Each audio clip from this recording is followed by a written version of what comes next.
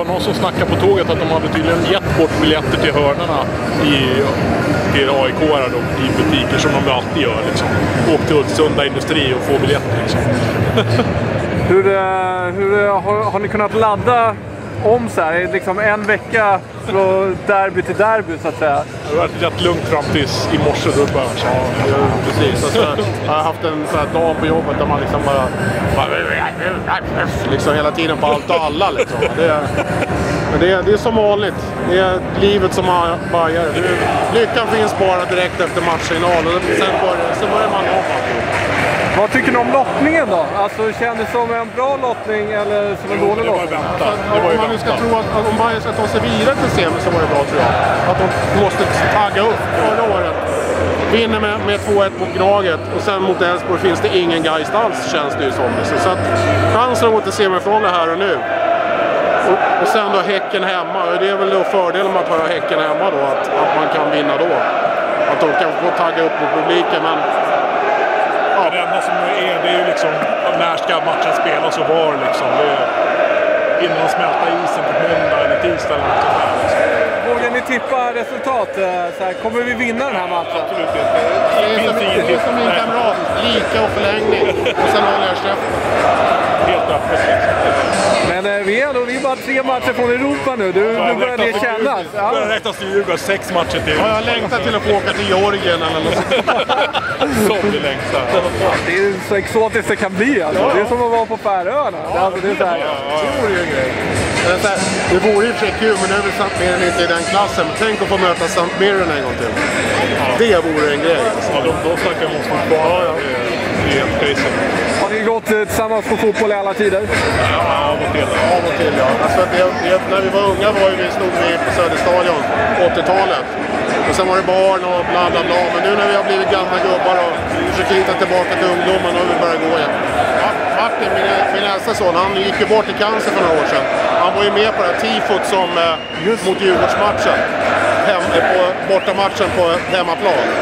Och han var den som var bredvid Alltså bredvid tomten och, eh, eh och, och näst längst ut.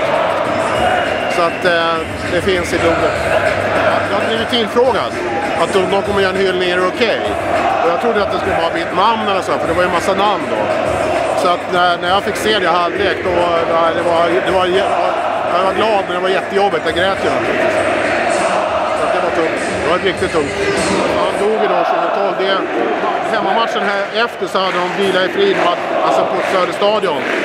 Men eh, i Rom så var det vila i frid-matchen. I, I Wien var det vila i frid-matchen På massa ställen det var riktigt stort. Så det var tungt. Det var riktigt tungt. Det ska HA ha stort rädd för.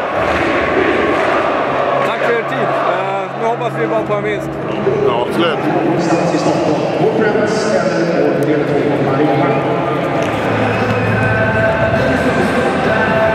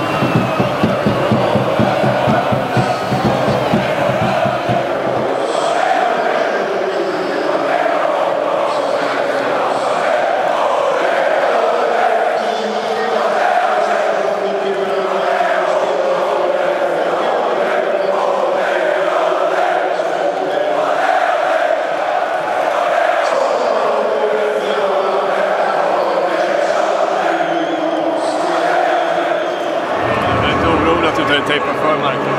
Vad sa du? Jag tror du skulle tejpa för märket. Jag vill inte orolig. Den jävla bangers här. 1-0 här precis innan paus. Rätt lägligt. Skönt. Men nervöst. Fan.